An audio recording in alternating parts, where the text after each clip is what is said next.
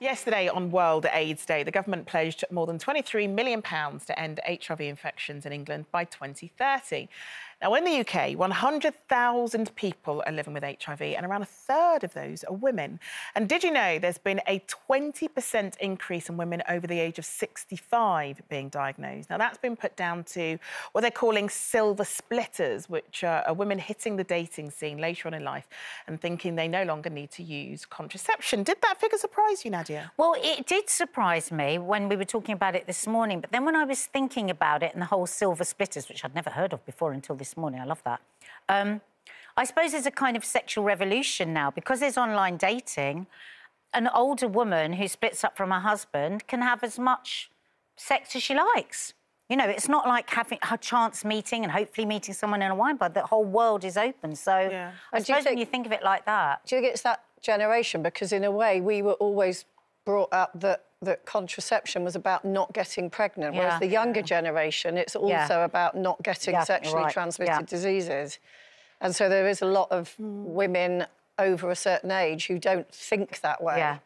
I, don't, I think they're not, like that. And they're not marketed to. If you, you know, yeah. if you ever see adverts about sexual health or about contraception, you know, it's always a younger person that's on there. It's as though, you know, as tradition states, is that you're not meant to be having sex well, ain't that when you're older. It's really yeah. interesting now as it used to be. I mean, when AIDS were really at their worst and and it was a shocking time with, with so many deaths. Yeah. I mean, the progress that's been made and the medication that's available now, you know, is absolutely fantastic. But you never ever see a government ad now no. about safe sex or anything. It's it's almost like well, we can treat AIDS with med medication now, so we'll not really give the warning. But I personally think, I mean, I've talked to a number of young people in America when I was there. And in America, I mean, even when two young people are going out, they're looking for documentation that says mm-hmm. really? they're age free or uh, so that you can have safe sex, or just, or just and generally sexually that you're sexually, that you're sexually yes. clean, I, I, guess, and you know that you. But I think a lot of young people in this country are aware of that as well. You know. But do you think with our, with our generation that we do enough of? going to get regularly tested? I mean, I mean, oh, you know, never. we're all in relationships. Yeah. Would you ever think of doing no. it in relationships? No way. And, it, and in fact, it would be thoroughly odd. I mean, if I suddenly saw a card and Mark had been off for a sexual health check, I'd, well, wouldn't we all would go, why have you had a sexual health check? What's what? What have you done? Would be our first. Mm. You don't think of it as something routine, like no. you get your eyes or your bones or whatever else tested, and I yet mean, that seems to be what they're saying we should do. You know, back in in in the eighties when we were all kind of young Terrified. and dating and whatever. Yeah. Do you remember the, the, the tombstone advert yeah. to do with? Because, of course, it, it was largely a death sentence then yeah. and it terrified us all. But now it isn't a death sentence. And apparently, if you get it early enough, then your life expectancy is pretty much the same as anybody else, which is phenomenal in far how, we've, how far we've come. But as you say, I think that then breeds a little bit of complacency. Mm. But because... I also think Nadia, Nadia actually hit the nail on the head, I think, because, you know, if, if a woman has been divorced and maybe there's a bit of bitterness there and, and maybe she's been married out for quite a long time or maybe she's been very lonely, I think that now that online dating is so accessible, I think that there is a certain sexual freedom that possibly yeah. comes with that. Yeah. Which is great. And, yeah. And I think that's why your figures now over 65 that's relevant. great, but wear a condom. Yeah, and be and be and be safe. But you're right. A lot of when we were younger, it was about not getting pregnant, as opposed to not just thinking about looking after your own sexual health. Well, look, um, if you're on the fence about getting checked regularly for HIV, we're going to show you just how easy it is. And Taku has joined us uh, on Taku. set. Hi, Taku. uh, Taku's from the Terence Higgins Trust and is going to talk me through how to do it myself. So I've got all the stuff here. And well, you can warn... just do it. Just yeah, yeah, we've got the stuff here. Because the thing is, I suppose, like anything, you could it could be lying dormant, couldn't yeah. it? And you wouldn't know. Yeah, and that is it is possible for it for it to lie dormant. And um, I have got hand sanitizer. I'm going to uh, wash my hands off here just to make sure that they are clean. So and we were saying earlier yeah. we have become used to, a bit more used to self-testing now yeah. because of lateral flows. Yeah. And... I'm imagining now I'm 65. I'm, gonna, I'm out there in the world. I'm having a cocktail, some almonds, some and, olives. And a health check. Oh, look, I need, to, I need to do the test, Nadia. oh, right, sorry, so, I was supposed to be talking while you did so it. The test, the test comes uh, in a box like this. So, Taku, this is what the Terence Higgins Trust, you guys provide these tests, don't you? And it can be paid for by those who can afford to, but you also, but people, you encourage people to do that. So if you can't afford, you can get one for free. Yeah.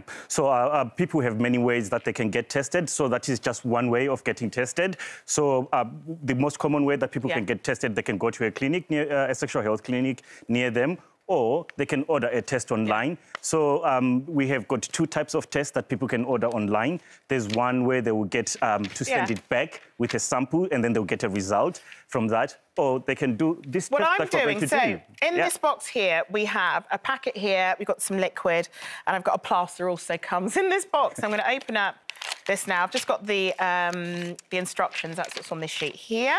Yeah. So I'm going to twist. I've got to twist this, don't Yeah, I? so you just have to take off the, uh, the green Yeah. thing. So just to explain maybe to, yeah, to explain to the viewers, Yeah. what you've got there is just a finger prick uh, test. So like we're going to prick your finger to get Yeah. a little bit of blood onto the test. And then after that, we'll put a bit of liquid on it. And then, And then you- we'll- and then we wait. So for Okay. people who are used to doing lateral flow tests, it's like it's quite similar. Like when you look similar, at how, yeah. how it's written down. So you just So have to wait. what I'm yeah. doing now is I'm warming up my hands. Warm your I need hands to up. get the blood Yep. sort of flowing, and I'm going to Yep. do it on this finger. So I'm just Yep. going to rub it here. So side, you side here. Let me see Yeah. if I can show you here. Show me. I'm just going to do it there. That's it. Right, it's it's pricked there. Uh, Did it hurt? no, do you know what? It just felt like a pinprick. and then what I'm going to do, ladies, is I do then have to. And then you have to get Let a, a bit of the blood onto the test kit. Yeah. And then once it's collected onto the test kit, um, you put There it we go. down, put the liquid on it, uh, the testing liquid on it. It's so and then you cold in here that my blood's really not flowing as quickly as it should do. To be perfectly honest, isn't it? So yeah. we just put them all all in here. So it Yeah. goes in here. So I'm going to make sure that this vial here is full of my blood here. It's, it's, it's a, just a drop as well, just to, Um, just- to let everyone know. It's just a drop. it, Drop. Like a dive. yes. Right, right. I'm going to stop myself bleeding there. Now all I do here is I put it down. Yep. I flop it down like that, if you guys Yep. can see. I flop it down. See, it looks just like a lateral flow test that kit there. And then you put four drops of that liquid on it. And then I'm going to put four drops in here. One, two, three, four.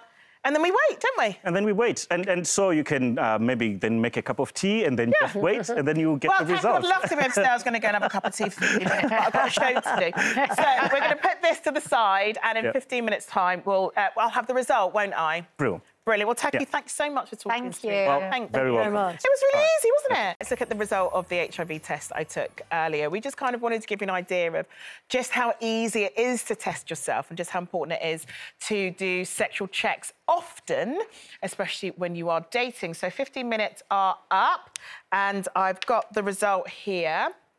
Uh, it's not dissimilar to a uh, lateral flow test, really. So, see, I've got the line there which says C, and so that means that it, it, it is negative. So it's not that, as you, you know. What was the, what did the test used to be then? Was it quite a laborious? Well, like like anything, like if if COVID had happened 20 years away. ago, the ability Yeah. to be able to test ourselves, we wouldn't have been Yeah. able to do that. It's just technology, isn't it? And so you can order those online to get it sent to your house, um, and you know, or you can go to your local sexual health clinic. But the importance is you've got to check yourself often.